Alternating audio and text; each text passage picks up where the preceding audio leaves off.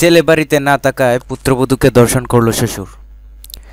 ফরিদপুরের বোয়ালমারী উপজেলার ছতুল ইউনিয়নের রাজাপুর গ্রামে শুক্রবার গভীর রাতে শ্বশুরের বিরুদ্ধে থানায় মামলা করেছে তার পুত্রবধূ। এ ঘটনা অভিযুক্ত শ্বশুর ঠুকন মোল্লা, পঁয়তাল্লিশ বছর, এলাকাবাসী আটক করে পুলিশে সুদর্পণ করেছেন। পুলিশ টুকন মোল্লাকে শনিবার আদালতের মাধ্যমে জেল হাজতে পাঠিয়েছেন। থানা সূত্রে জানা যায়, উপজেলার রাজাপুর গ্রামের ঠুকন মোল্লা নিজ স্ত্রী, ছেলে ও পুত্রবধূ সহ একই বাড়িতে বসবাস করেন। শুক্রবার রাতে টুকন টুকনের স্ত্রী ও ছেলে বাড়িতে না থাকায় লম্পট শ্বশুর পুত্রবধূকে ধর্ষণ করে।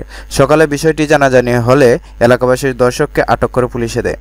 এ ঘটনা দর্শিতাবাদী হয়ে নারী ও শিশু নির্যাতন দমন আইন শ্বশুর টুকন মোল্লাকে আসামি করে বোয়ালমারি থানায় মামলা দায়ের করেন। দর্শিতাকে শনিবার পুলিশ হেফাজতে নিয়ে মেডিকেল স্টেটের জন্য ফরিদপুর মেডিকেল কলেজ হাসপাতালে পাঠানো হয়েছে।